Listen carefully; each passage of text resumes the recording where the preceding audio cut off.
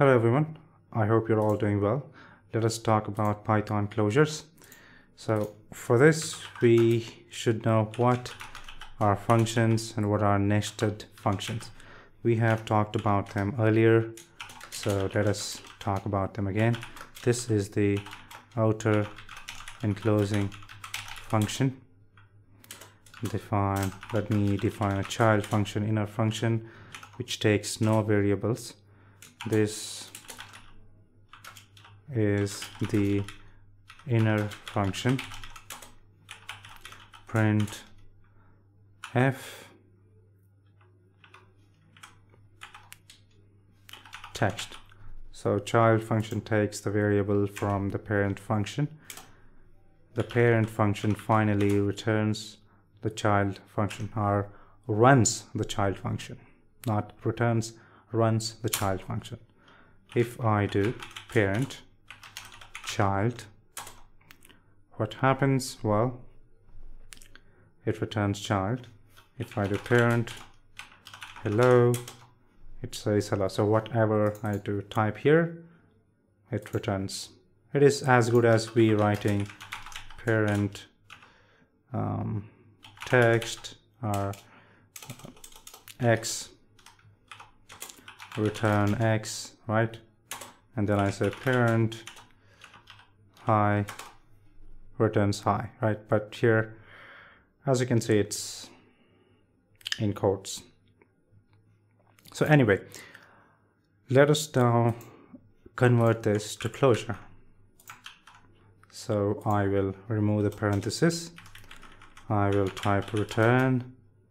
So it is returning the child function instead of running the child function. I have added return, removed parenthesis. Let me run parent here, parent child. It returns the function, not the value. So what should I do to run it? I have to add the missing parenthesis here and it works. You can also do like this and then do this.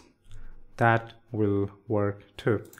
So when the main parent function, instead of running the child function, returned the child function itself, we can now access the child function outside the scope of the parent.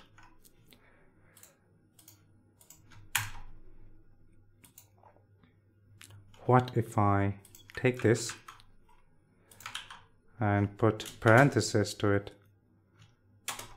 Then I do parent child, so it runs the child function instead of returning it. So whenever you call a function without parenthesis, it gives you the function. But when you call a function with parenthesis, it runs the function, right?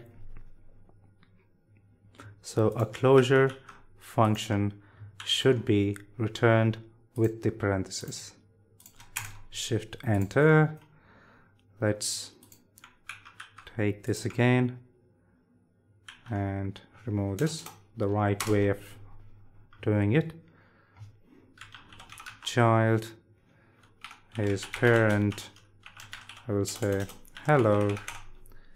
Then I will run child it returns the function. And if I do this it runs the function. But now I will do something interesting. I will delete the parent function. Delete the parent function and then run child, still I have the child function available for me to use. So if I run child like this, it still works, right?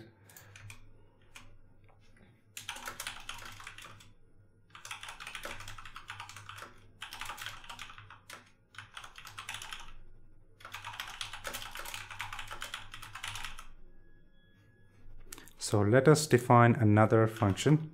Define adder x comma y. Return x plus y.